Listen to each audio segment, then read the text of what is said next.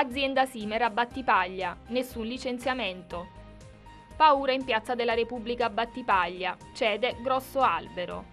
Arrestato latitante salernitano, si rifugiava ad Ibiza. Tragedia sfiorata a Capaccio, bimbo avvia auto. Sigilli all'Hotel Italia di Salerno, sette arresti. Violenza ultra a Battipaglia, accusa di tentato omicidio. Servizio 118, la CISL chiede incontro a Squillante. Battipagliese Calcio, divieto di trasferta a Rende. Non ci sarà nessun licenziamento alla Simer, questa azienda sta facendo grandi investimenti. Chi dice il contrario non conosce questa realtà. La dirigenza, per bocca del direttore del personale, smentisce le voci che riguardano un'avvertenza in corso all'interno della fabbrica che sorge su Viale Brodolini e che produce pastiglie per i freni a disco e ganasce. Stiamo evitando i licenziamenti di cui si parla da tempo. Non ci sono riduzioni del personale all'orizzonte. La fabbrica è sana. Il direttore del personale ha fatto riferimento ad un massiccio programma di aggiornamento tecnologico che dovrebbe consentire all'azienda di conquistare mercati sempre più vasti. Tragedia sfiorata a Battipaglia quando un grosso ramo è precipitato al suolo in Piazza della Repubblica grande spavento delle persone presenti. Il ramo, lungo diversi metri, è caduto con grande frastuono, piegando la ringhiera che delimita l'aiuola. Al momento del crollo, per fortuna, nessuno si trovava in prossimità. Le dimensioni del ramo hanno subito fatto pensare alla tragedia sfiorata. Sul posto sono giunti i vigili del fuoco di Eboli che hanno messo in sicurezza la zona, rimuovendo altri tre grossi rami pericolanti. Ma sono diversi i casi di alberi morti lasciati seccare senza che nessuno provveda alla loro rimozione e sostituzione. In questa situazione sono in molti a protestare protestare.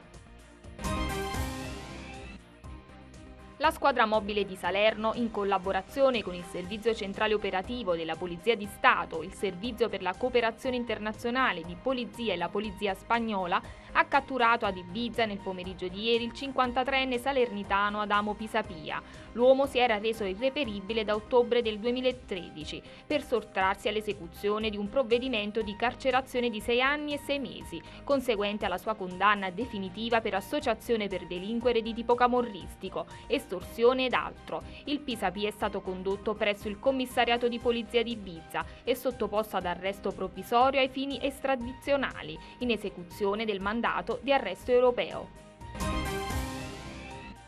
Lascia le chiavi inserite nel quadro e la marcia inserita e il figlio fa partire l'auto che sbatte contro un'agenzia immobiliare. È accaduto nella tarda mattinata di oggi lungo via Magna Grecia. Stando ad una sommaria ricostruzione, la donna del posto, alla guida di una Ford Fiesta, ha lasciato l'auto in sosta con due bambini dentro, seduti nella parte retrostante per recarsi in un'attività commerciale. Uno dei due è saltato sul sedile di avanti, ha girato le chiavi. L'auto è partita compiendo circa due metri e finendo sotto il muro della porta d'ingresso di un'agenzia immobiliare. Per fortuna non si sono registrati feriti, ma solo danni materiali. Sette misure cautelari nei confronti di cittadini salernitani e rumeni per associazione a delinquere finalizzata allo sfruttamento e al favoreggiamento della prostituzione e il sequestro del centralissimo Hotel Italia a Salerno.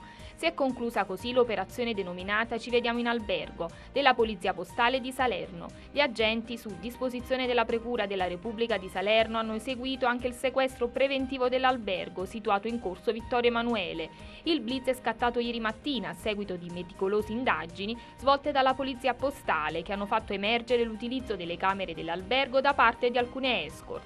Le persone sottoposte alle misure cautelari sono il titolare dell'Hotel Italia, Armando Tortora, i cittadini romeni, Valerica Nestase, Vasile Nastase, Viorel Brau, Julian Cosmin Bogatu, tutti residenti a Capaccio. Agli arresti domiciliari sono finiti il portiere dell'albergo Aurelio Antonucci e Sergio Storniello.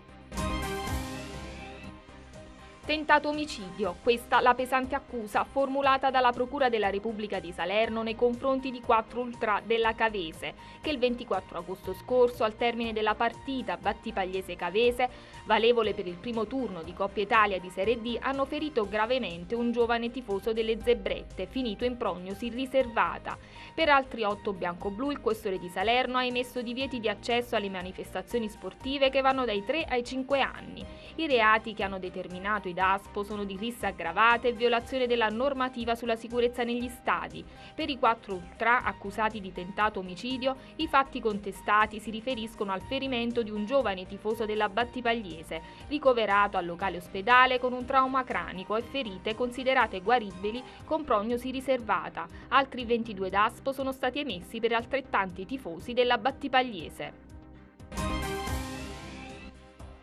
Organizzazione del 118. La CISL chiede un incontro urgente al direttore generale dell'ASL. La richiesta arriva dopo il decreto squillante di liquidazione delle spettanze al personale infermieristico impegnato per la garanzia del servizio. Il direttore squillante, scrive in una nota Pietro Antonacchio, dovrebbe dire ai suoi dirigenti di trovare soluzioni compatibili con le risorse disponibili attraverso una vera riorganizzazione dei servizi. Il manager Squillanti ha spiegato che l'ex ASL Salerno 3 era l'unica in cui il servizio era ancora gestito dagli infermieri. Non essendo in numero sufficiente per garantire il servizio, dovevamo fare ricorso a progetti incentivanti che hanno provocato ritardi nei pagamenti. Ho scritto ai sindacati per verificare se si potevano utilizzare i fondi del salario di risultato. Non abbiamo trovato l'accordo e abbiamo scelto di esternalizzare il servizio per uniformarlo a tutta l'azienda. La prefettura di Salerno ha ordinato il divieto di trasferta per i tifosi bianconeri in occasione della gara di domenica a Rende. L'ordinanza ha proibito la vendita dei biglietti per assistere alla gara tra Rende e Battipagliese ai residenti nella provincia di Salerno. La società, tramite il presidente Carmine Ferrara, esorta i propri tifosi a non recarsi domenica a Rende. Si invitano anche i propri sostenitori a mantenere un comportamento corretto e sportivo, sia in campo che fuori. Tutti noi dobbiamo farci portatori dei principi di uno sport leale, rispettoso delle regole e simbolo di evoluzione della comunità, della quale la squadra è espressione, afferma il presidente Ferrara. Si ricorda che eventuali manifestazioni di intolleranza o di indisciplina danneggiano la società e i calciatori, con il rischio anche di penalizzazioni, privandoli della possibilità di disputare gli incontri del torneo dinanzi al pubblico di casa.